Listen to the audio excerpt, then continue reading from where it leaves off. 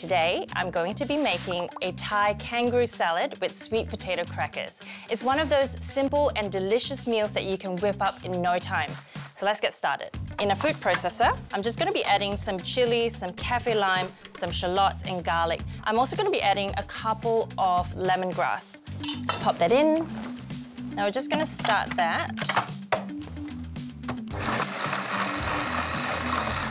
And. I'm gonna be adding some fish sauce. So here I've got some rice malt syrup, a touch of vegetable oil, and then we're just gonna give that a good whiz.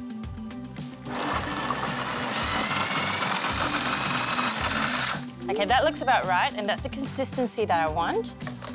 Take this out. And then into a mixing bowl.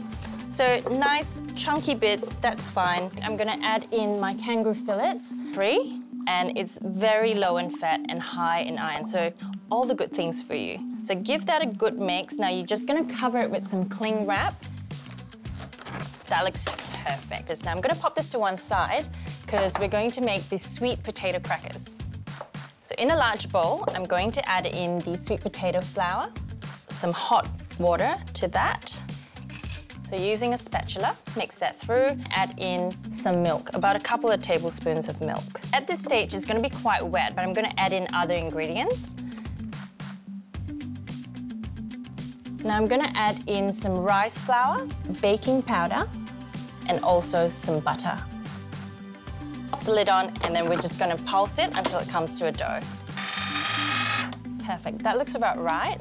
And then I'm just gonna sprinkle in some cayenne pepper all over the top. I'm gonna add in some sesame seeds. Now this just goes into an oven at 180 degrees for about 12 to 15 minutes. Quick turn. And then we're gonna put the kangaroo fillet in. So that's just gonna cook for three minutes on both sides. We'll flip it over halfway. Now, whilst the kangaroo's going, I'm gonna make a quick salad to go with it. So, carrot, cucumber, bean sprouts, mung bean noodles, some Asian herbs here. The kangaroo should be, I'm just gonna put it onto a plate and then let it rest for a little bit. I'm gonna make a really quick dressing for this salad.